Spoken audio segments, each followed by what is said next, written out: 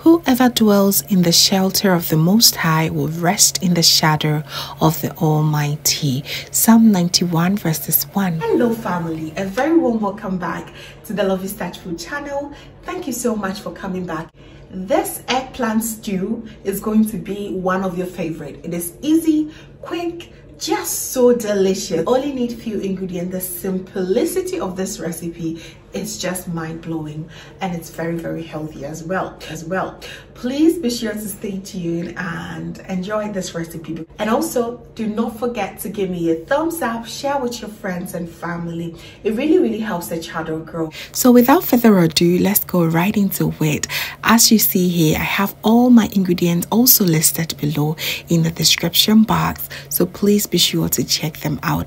It has a right quantity as well. So i'm going to begin by cutting my king of the ingredients, which is my eggplant. Okay, do not bother just peeling off the skin just go ahead wash it very well and cut them into this nice fine sizes all right it is absolutely easy this way so once you're done, you want to go ahead and put everything in your pot and add enough water to get this cooking. We'll be having this with some boiled eggs as well. So I'm going to add my eggs directly here. I'm trying to save some energy and also not to waste too much water and also watch too many dishes as I am done with the cooking. Okay, so I'm going to add my eggs here and I'm going to add enough water. Seasoning it with salt is very, very important. Okay, I'll cover it and I'm going to allow this to cook for the next 10 minutes.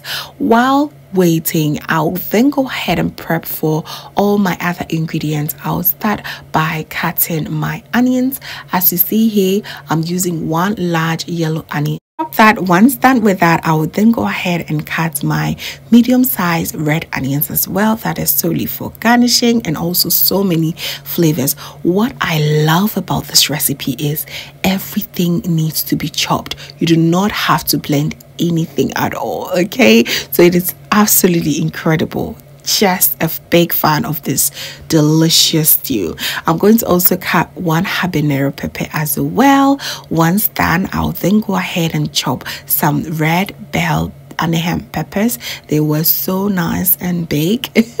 How I love them. I'm just going to cut each and every one and set them aside. Okay, it is absolutely incredible. And oh, hey, if you're enjoying this recipe, please kindly give me a thumbs up. It is totally free, but it just helps this channel grow bigger and bigger. Okay, so do that for me. Thank you so much. So once I'm done cutting all the onions and the peppers, I'll still go ahead and cut my tomatoes. I am using three and a half medium size of fresh tomatoes. You may also decide to use the canned chopped tomatoes as well, whichever way will be very, very well done okay? So i'm going to cut them until i am done with everything. Once i'm done with that my prep is over and we are going to start with the stew process at once. Look how beautiful everything is looking. Absolutely wonderful. I'm now beginning the show. I am going to add about 150 ml of cooking oil. Use any oil of choice. And I'll then add my chopped onions fried for about two minutes.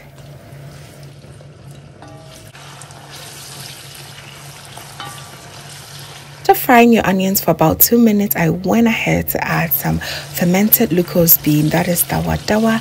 You may also use some momone if that's what you have at home. It is absolutely great, okay? I'm going to fry that for about two minutes as well and then throw in my chopped habanero peppers, okay? I'm going to fry this for about a minute or two as well then add my chopped tomatoes. This stew family was an easy breezy. I enjoy every bit of it. No stress, no wahala at all. Okay, so add all my chopped tomatoes, stir gently, fry this on its own for about five minutes. Actually, I'm going to go ahead and cover it and allow this to do the frying process for about five to seven minutes on a low to medium heat, of course just look how beautiful it looks. So so nice. And you can see that the tomatoes are nicely cooked and the aroma is popping up already. So i'm now going to add some mackerel in tomato sauce. You may also decide to use corned beef some tuna flakes or whatever that you have to enhance these flavors okay?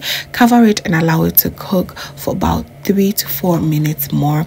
And I went to check on my eggplant. They were nicely cooked together with the eggs. Smart right?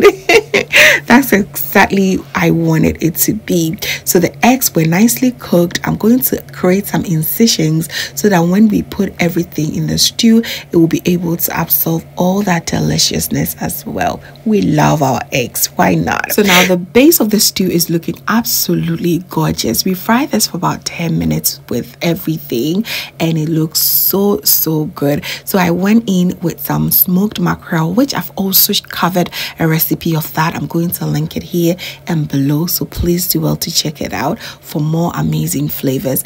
I'll then add my nicely cooked eggplant season well with a bit of salt and i'm going to stir it gently so that everything incorporates very very well. Look how beautiful just so beautiful colorful everything is looking. It is absolutely incredible Now I'm going to season my stew with my all-purpose natural blend spice mix and then some salt of course. This stew does not need too much seasoning at all. You just want it to be so authentically the way it is. And I've also shared the recipe of my natural spice blend mix and it's just an easy breezy cooking with it i just love it so so much if you've not watched it if you missed it i'm going to link it here and below so i cover it i allow this to simmer for about three minutes while I'll throw in all the other vegetable for garnishing and also for more flavors. I added some red bell peppers, some chopped spring onions and some chopped red onions. Just look how beautiful and colorful the colors are coming through. This is absolutely amazing. Fam, you should save this recipe right here and give it a try. It is so delicious. Gently stir everything together for it to incorporate well while I'll go in with my last but not the least ingredient which are my nicely boiled eggs. Amazing adding the eggs here makes everything better okay it is so so lovely going to gently stir everything together and allow this to simmer for about two to three minutes and your delicious eggplant stew should be done. It is so good, filled with lots of vegetables. Here, you can pair with your rice, your boiled plantain, ripe plantain, some boiled cocoyam or yam, etc., etc. The list goes on and on. So there you have it, family. Today we've paired with some deliciously boiled yam and it was just perfection. Thank you so much for watching, family. I really, really enjoyed your company with me, and I hope that you learned a thing or two and you're going to give this delicious eggplant stew a shot because you truly deserve this. I love this for you. It is absolutely delicious. Please kindly give me a thumbs up. Do not forget that, and also share with your friends and family. And if this is your first time here, hello, my name is Lovia from Lovystouch. My main goal here is to cheer you up into making your own delicious meal right at the comfort of your home. I also love to share kitchen related motivational videos. So please come on board and subscribe to join the family for amazing new recipes every week. Thank you so very much, family, for watching once again. And as always, know that you are so beautiful just the way you are. I will see you in my next one. Have a blessed day. Bye.